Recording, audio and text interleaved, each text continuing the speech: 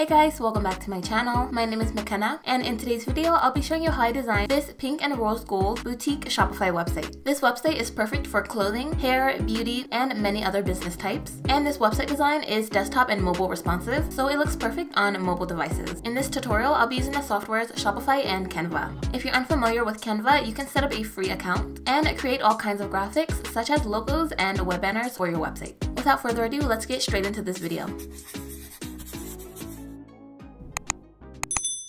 First, you're gonna open Shopify and go to Online Store, then Themes. When you scroll down, you'll see all of Shopify's free website themes, and I'm gonna be installing the original Dawn theme, and this is gonna be the base for the website. Click Customize, when you click this icon, it will show you how the website is going to look in full screen. And when you click this phone icon, it will show you how the mobile version is going to look. I'm going to click on the header and under desktop logo position, I'm going to set this to top center. Right here, you can retitle the announcement bar text and you can also assign a link leading to a page or a product collection within your website. Click theme settings, then logo. Here you can upload your brand's logo and favicon image straight from your computer.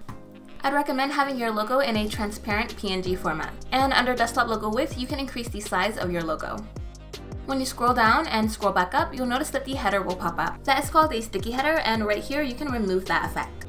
Click colors, then open color scheme 1, and I'm going to change this to a light pink color. I'm going to change the solid button background to white, and the solid button label to black. Then I'm going to open typography, and I'm going to be changing the main font to the font Serif. Then I'm going to change the secondary font to the font Amiri. When customers click Catalog, this will take them to the Shop All section of your website. And when they click Contact Us, this will take them to your contact form. If you'd like to design a more custom navigation bar, you're going to open Shopify, then go to Online Store, then Navigation, and open your main menu. Here, you can edit the current menu items, and you can add new menu pages.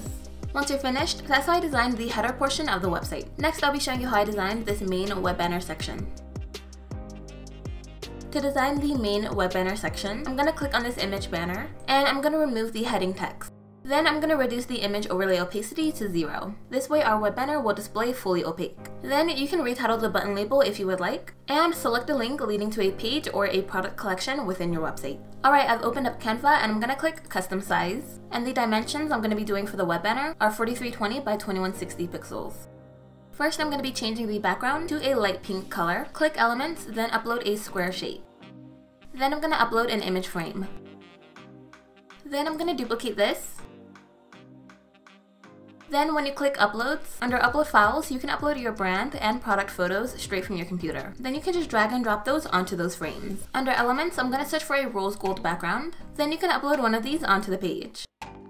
By the way, if you don't have Canva Pro, just be sure to use their free elements that don't have the Canva Pro badge.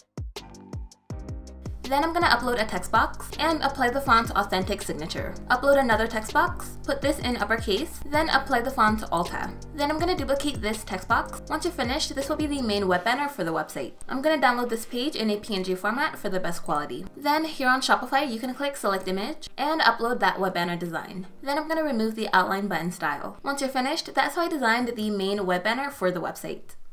By the way, this Shopify theme template is available on my website. I've put together this fully done for you Shopify website template in a downloadable format in case you just don't have time to design your website. If you're unfamiliar with Shopify templates, after your order, you'll receive it in a zip file format, and here on your Shopify account, you can easily install that into your store. I've included a step-by-step -step installation guide to help you with installing and editing this website template, and this is a full template bundle, so I've also included all of the Canva templates that you'll see me putting together throughout this video. I've designed these Canva templates to be compatible with the free version of Canva, so all you'll need is a free Canva account to open, edit, and download these. This pre-made Shopify website template will save you a ton of time. I will link that in my description box below. Next, I'm going to show you how I added the featured product collection. Currently, there is already a default featured collection. Under heading, I'm going to retitle this section. I'm going to set the image ratio to portrait. Be sure to enable the view all button if your collection has more than four products. Then, when you click select collection, it will allow you to choose which collection you'd like to feature. By the way, if you're unfamiliar with collections on Shopify, they are just categories that you can create to assign certain products to. That way you can keep your shop organized. Once you're finished, that's how I added the featured product collection. Next, I'm going to show you how I designed the About Us section. Right here, I'm going to import an image banner. I'm going to remove the container on desktop and the container on mobile. Then I'm going to set this to color scheme 3. Then you can retitle this section and insert your About Us section text. I'm going to remove the second button label, then retitle the first button label and select the link. Then you can click select image and insert a background image for this section. I'll be using this pink and rose gold background, and you can find different background images here on Google. Once you're finished, that's how I designed the About Us section. Next, I'm going to show you how I designed the collection list. Right here, I'm going to import a collection list. Under heading, you can retitle this section, and you can also enable the view all button if you have more than three collections. Then when you click on a collection, it will allow you to choose each collection you'd like to feature. Once you're done, that's how I designed the collection list. Next, I'll be showing you how I designed the displayed customer feedback section. For this section, I'm going to import a multi-column. I'm going to increase the number of columns to 4. And by the way, this won't be an embedded customer feedback section. I'll just be showing you how to manually display some of your top customer reviews. You can remove the button label, then I'm going to retitle this section. I'm going to set this to color scheme 5, then you're going to open color scheme 5, and I'm going to set the background to a pastel pink color. I'm going to change the text to black, and the solid button label to black. When you click on a column, under heading, I'm going to be pasting these star emojis to represent the customer's rating. Then you can paste in the customer's review. I'll be using this text as an example, and I'd recommend putting the customer's name, and you can also insert a link leading straight to the product they left their review on. Then I'm going to enable the swipe on mobile. Back here on Canva, you're going to open that same web banner page and click Add Page. I'm going to change the background to a slightly lighter shade of pink. Then I've searched for a rose gold circle element, and I'm going to upload one of these onto the page. Next, you're going to scroll down, and I'm going to upload a circle image frame. Then I'm going to duplicate this page four times to represent those four columns. Then under upload files, once you've downloaded your customer's profile image from their review, you can just drag and drop that picture onto these frames. Then you can download each of these pages, then assign them to each of those designated reviews. Once you're finished, that's how I designed the featured customer feedback section. Next, I'm going to show you how I designed the email signup and the second web banner section. So right here, I'm going to import an email signup. Then I'm going to retitle this section. Right below that, I'm going to import an image banner. I'm going to remove the container on desktop and the container on mobile. Then I'm going to remove the text. Under desktop content position, I'm going to set this to bottom center. Back here on Canva, I'm going to click Add Page. I'm going to change the background to a slightly darker shade of pink. Then I'm going to scroll up, and I'm going to copy and paste this rose gold bar element. I'm also going to upload a subtle faded element, and this will help to give the background a little more dimension. Upload a text box, put this in uppercase, then apply the font Belleza. I'm going to upload another text box, then apply the font Authentic Signature. Next, I'm going to upload a square shape, then I'm going to upload an image frame.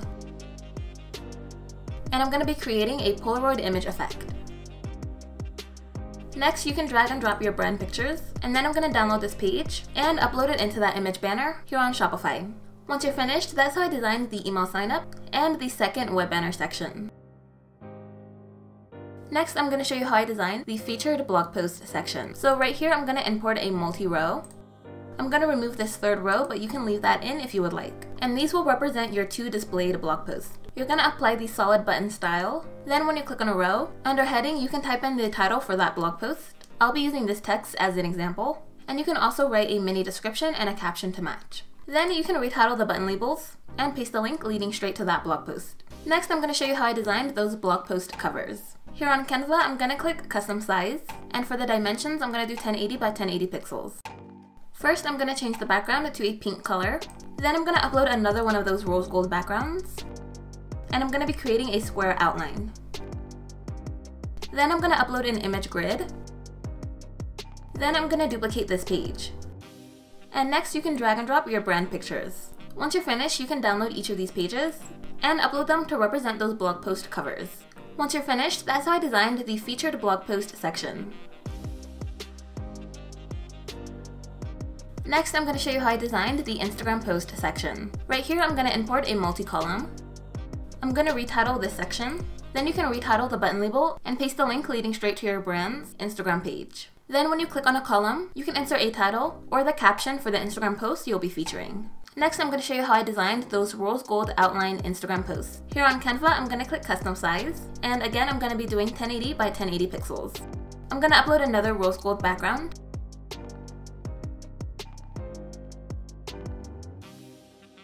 Then I'm going to upload an image grid. Under upload files, you can download and upload each Instagram post that you'll be featuring. Then you can just drag and drop those images onto the image grids. Once you're finished, you can download each of these images, then upload them into each of those columns. Be sure to enable the swipe on mobile. Once you're finished, that's how I designed the Instagram post section. Next, I'm going to show you how I designed that third web banner. Right here, I'm going to import an image banner. You can retitle this section and also retitle the button labels. Then you can upload your first image and your second image for this section. And once you're done, that's how I designed the third web banner section. And lastly, I'll be showing you how I designed the Let's Connect section. Right here, I'm going to be importing another image banner. And I'm going to remove the text and the button labels. Back here on Canva, you're going to open that same web banner page and click Add Page. I'm gonna upload another faded element. Then I'm gonna upload a rose gold bar element. You're gonna upload a text box, apply the font's authentic signature, upload another text box, then apply the font brown sugar. On this page, you can display your business contact info and your social media handles. For an example, I'll be displaying the business phone number, contact email, business location, and social media handles. Be sure to display your social media username, and for this text box, I've applied the font Alt-Tab. Next, you can download this page and upload it into that image banner on Shopify. And once you're finished, that's how I designed the Let's Connect section. And here is the finished Shopify website. Don't forget, this pre-made Shopify theme template is available on my website. I've put together this fully done for you Shopify website template. And if you're unfamiliar with Shopify templates, after your order, you'll receive it in a zip file format, and you can easily install that Shopify theme file and to your store. This website template is already laid out and designed for you, so all you'd have to do is just add your pictures and change the text. And this is a full template bundle, so I've also included all of the Canva templates that you've seen me creating throughout this video. I've designed these Canva templates to be compatible with the free version of Canva, so all you'll need is to set up a free Canva account to open, edit, and download these templates. I've included an installation guide to help you with installing and editing this website, and I will link that in my description box below. I hope you all enjoyed this video. If you're interested in another style of Shopify website, check out this video here on my channel.